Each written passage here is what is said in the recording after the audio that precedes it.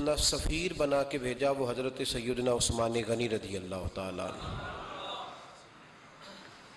हुजूर ने उन्हें सफ़ीर बना करके मक्का मुकरमा में भेज दिया और दो टारगेट दिए अपने सफ़ीर को। दो बातें फरमाई। फरमाए एक तो जाके मक्के वालों को बताओ कि हम जंग करने नहीं आए, अल्लाह के घर का दीदार करने आए।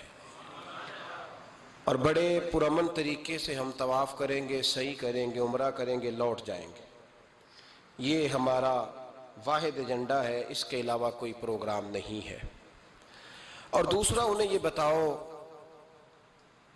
उन लोगों को जो एक ज़माने से मक्का मुकरमा में कुफार मक्का के जुल्म सह रहे हैं, हमारे वो ग़ुलाम जो यहाँ बड़ी तकलीफ़ में हैं, उनको ये ख़बर दे दो उस्मान, उन्हें मेरा पैगाम दे देना कि अब तुम्हारी मुश्किल के दिन थोड़े रह गए। अब बड़ी जल्दी अल्लाह तबारक व दीन इस्लाम को फ़तह अता फरमा देगा। हज़रत उस्मान गनी तशरीफ़ ले गए। जब हज़रत उस्मान गनी वहाँ पहुँचे तो कुफार ने आपको रोक लिया। उन्होंने कहा कि आप रुकिए, देर हो गई। उधर अबू सुफियान ने हज़रत उस्मान गनी रदी अल्लाह तु को ये कहा कि हम नबी पाक सल्लल्लाहु अलैहि वसल्लम को और उनके सिहाबा को उमरा नहीं करने देंगे।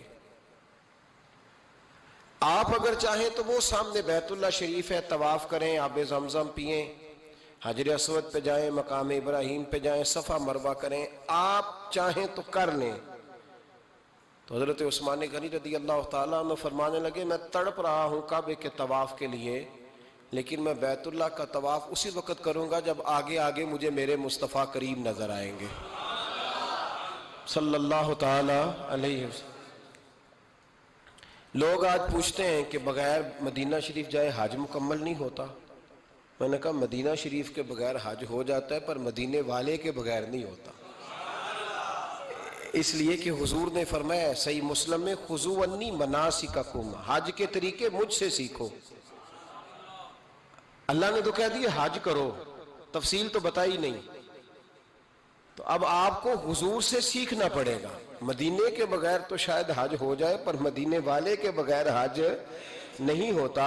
हज़रत उस्मान गनी रदी अल्लाह तने लगे, मैं तवाफ ज़रूर करूँगा, पर उस वक्त करूँगा जब मुझे हुजूर आगे आगे नज़र आएँगे। इधर एक शख्स ने हुजूर की बारगाह में भी कहा, अपनों का ना पता होता है। दिल बदस्तावर के हज अकबर अस्त जो दिल होते हैं ना, दिल को दिल से राह होती है।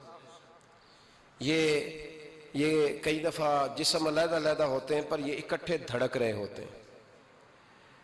तो दिल को दिल को राह रा होती है। अर्ज़ की, या रसूल अल्लाह सल्लल्लाहु अलैहि वसल्लम, उस्मान गनी तो तवाफ कर रहे होंगे, सफ़ा मरवा में होंगे, बड़ी मौज होगी, आब जमजम खोल के पी रहे होंगे। हजूर ने सामने वाले का चेहरा गौर से देखा, फरमाया, उस्मान को तुम ज़्यादा जानते हो कि मैं ज़्यादा जानता हूँ? या रसुल्ला आप ही ज़्यादा जानते हैं। फरमाया, फिर फ़िक्र ना करो, उस्मान मेरे बगैर तवाफ नहीं करेगा। तो बात ख़त्म हो गई।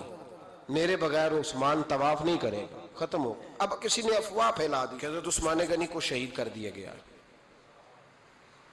नबी पाक सलाम तक भी खबर आई। हुजूर जानते थे।